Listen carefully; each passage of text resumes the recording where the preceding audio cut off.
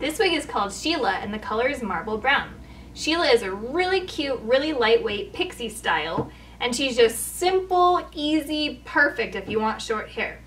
Now Sheila can be worn over the ears like this or just really easily tuck it back behind the ears and it gives you a whole different look, right? So let me show you the back.